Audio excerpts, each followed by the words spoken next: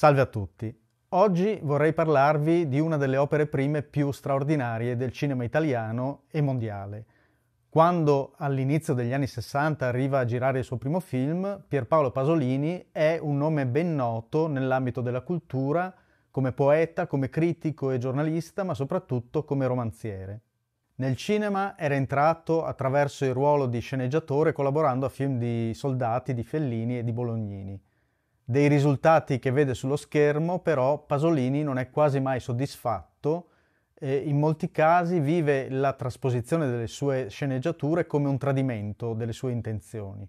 Per questo sente ad un certo punto la necessità di girare in prima persona e avere un controllo totale sulle storie che vuole raccontare ma c'è qualcosa di più che lo spinge verso il cinema ed è la sua immediatezza, il suo essere lingua universale che si esprime attraverso le immagini. Pasolini era inesperto tecnicamente, ma aveva delle idee molto precise su come voleva realizzare il suo primo film dal punto di vista visivo. Si affida quindi a Tonino Dellicolli, che sarà il direttore della fotografia in quasi tutti i suoi film, e al giovane aiuto regista Bernardo Bertolucci.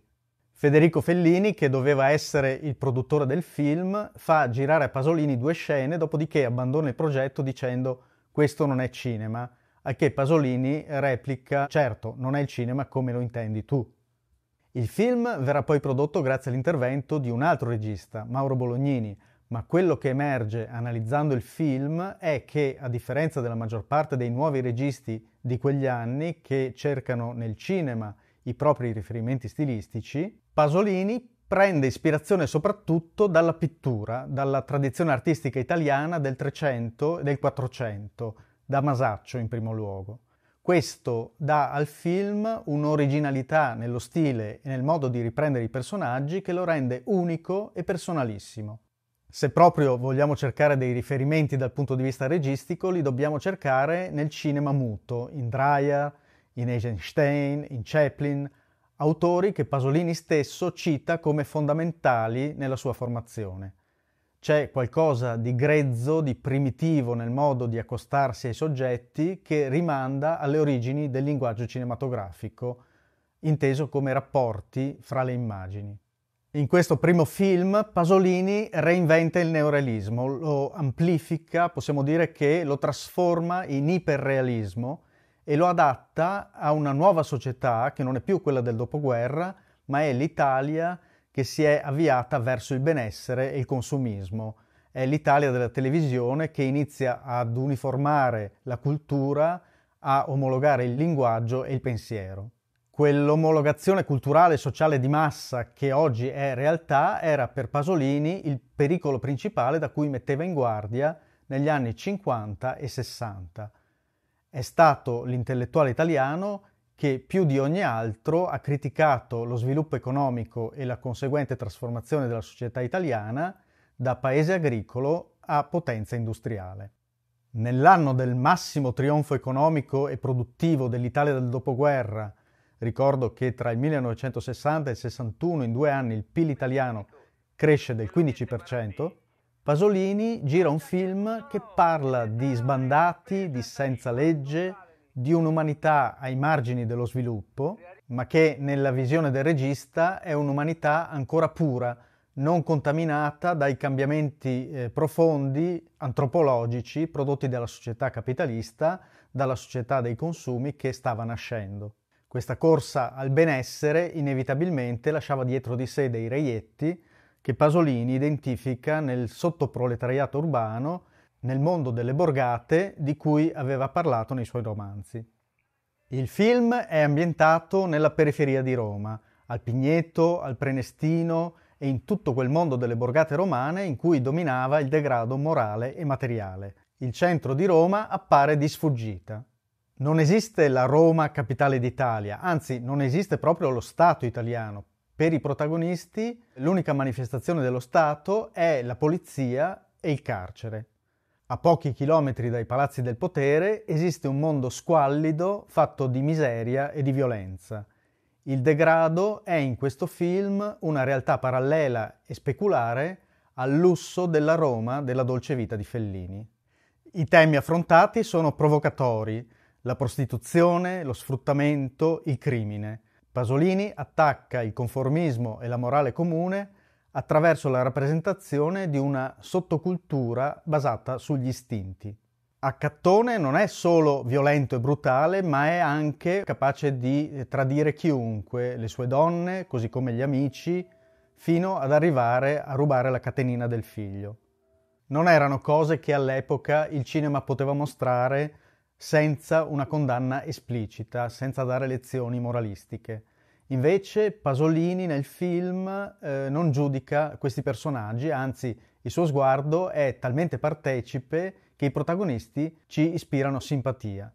Pasolini è sempre stato critico verso la Chiesa cattolica, ma eh, cerca di ritrovare nella vita degli ultimi l'essenza del messaggio cristiano per raffigurare il sacro nella vita di questi personaggi usa sia il piano figurativo che quello della colonna sonora, con la musica di Bach che fa eh, da sfondo alle vicende, come vedremo più tardi. La sensibilità con cui raffigura le scene di vita miserabile ricorda la pittura sacra. Sacro e profano si mescolano continuamente, eh, sia nei dialoghi sia nelle immagini. Anche qui, come nella maggior parte dei film neorealisti, il cast è formato in buona parte da attori non professionisti, presi dalla strada, dalle stesse borgate che vediamo nel film. Ci si muove dunque nella scia del neorealismo, ma con un'aderenza ancora più totale fra interpreti e personaggi, a partire da Franco Citti, che presta la sua faccia animalesca al protagonista. Il primo titolo pensato per il film non era Accattone, ma era Stella, e questo sottolinea l'importanza del personaggio interpretato da Franca Pasut, la ragazza semplice e ingenua che è talmente diversa da quel mondo da essere capace di far cambiare vita, almeno per un attimo, ad Accattone. Ma le donne nel film sono vere e proprie schiave. Eh, la donna sfruttata da Accattone, Maddalena, costretta a prostituirsi anche dopo che si è rotto una gamba in un incidente, sceglie di eh, farsi incriminare per calunnia e falsa testimonianza pur di non coinvolgere Accattone, di cui è innamorata.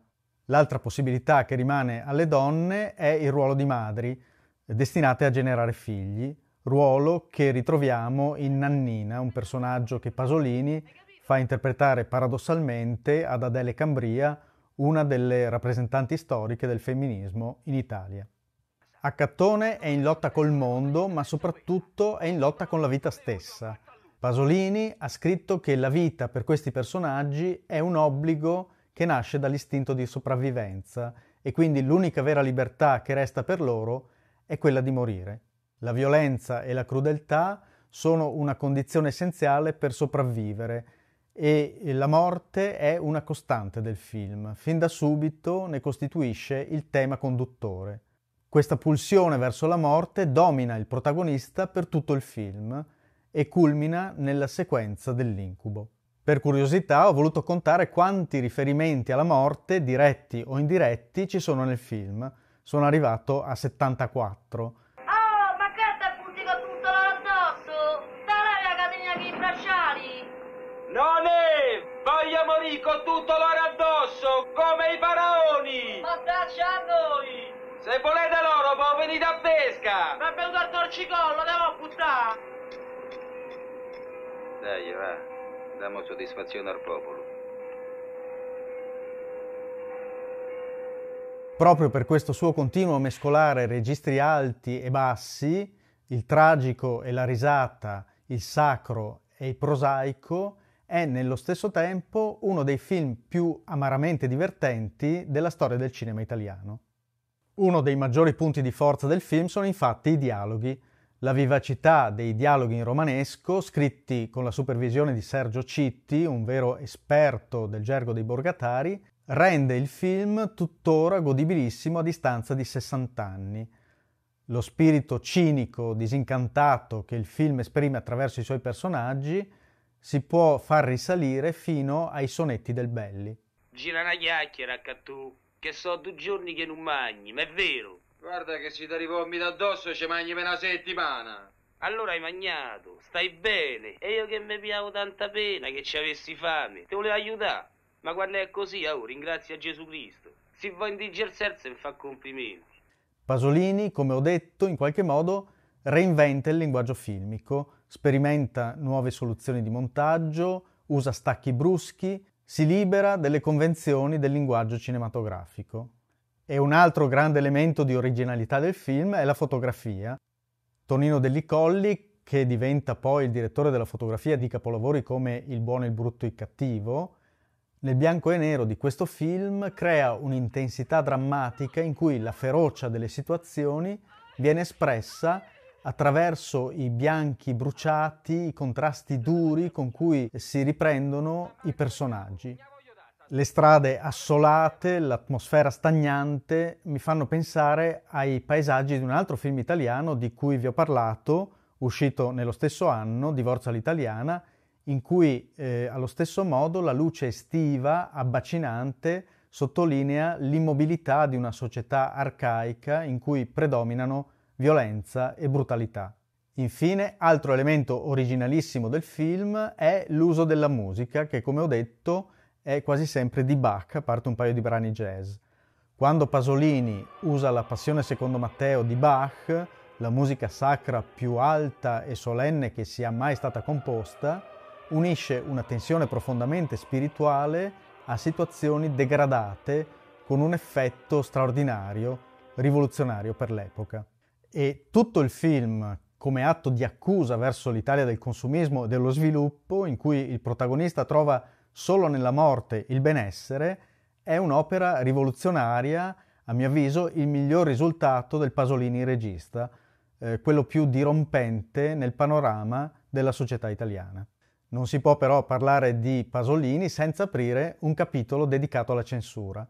Pasolini è stato il regista e in generale la personalità intellettuale più censurata del secondo Novecento, non solo in Italia ma forse nel mondo si è trattato di un vero e proprio accanimento che è indicativo da un lato dell'arretratezza culturale della società italiana, dall'altro dell'efficacia della critica di Pasolini alla società stessa. All'uscita di ogni suo film si scatena un fuoco incrociato di politici, magistrati, ufficiali delle forze dell'ordine, alti prelati e cittadini comuni che fanno di tutto per impedire al pubblico la visione dei film. A Cattone che doveva partecipare alla mostra del cinema di Venezia di quell'anno, viene subito escluso dalla competizione e proiettato fuori concorso. Dopodiché il film, già tagliato in varie scene, appena esce in sala a Roma, viene contestato con lanci di bottiglie d'inchiostro, eh, finocchi e petardi contro lo schermo. Il film viene ritirato dalla circolazione per ordine del Ministero dello Spettacolo e un politico democristiano fa causa chiedendo un risarcimento danni che Pasolini dovrà pagare. Il film torna poi nelle sale, ma la commissione di censura pone il divieto ai minori di 18 anni ed è il primo film nella storia del cinema italiano a essere vietato ai minori di 18. Fino ad allora, al massimo, esisteva il divieto per i minori di 16 anni. Non posso entrare nello specifico di tutte le battute che vengono tagliate dai dialoghi prima di ottenere il visto, eh, vi dico solo che per esempio si fa rimuovere la parola vergine, si fa rimuovere la parola mutandine, cose che farebbero ridere se non fosse che esisteva una commissione di persone pagate dallo Stato per decidere questi tagli e soprattutto che tuttora la censura continua ad esistere sotto altre forme, con altri nomi, ma continua ad esserci. Grazie a tutti, il prossimo video sarà su un altro grande, straordinario esordio nel mondo del cinema. Nel frattempo eh, vi invito come sempre ad iscrivervi al canale se non l'avete già fatto e a lasciare un like. A presto!